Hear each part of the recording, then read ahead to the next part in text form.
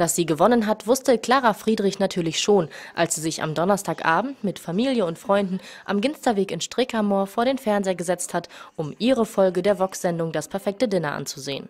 Trotzdem war die 30-Jährige aufgeregt. Vor der Sendung wurde dann erstmal angestoßen, Prosecco mit einer Hibiskusblüte, der gleiche Aperitif, den sie auch in der Sendung gereicht hatte. Mit ihrem Motto Das Leben ist ein Ponyhof und mit ihrem Menü hat Clara Friedrich ihre Mitkandidaten aus Oldenburg und Ganderkesee überzeugt. Für die 1500 Euro Preisgeld haben Clara und Sascha schon die perfekte Verwendung. Die Siegprämie soll in den Bau eines Kinderzimmers investiert werden.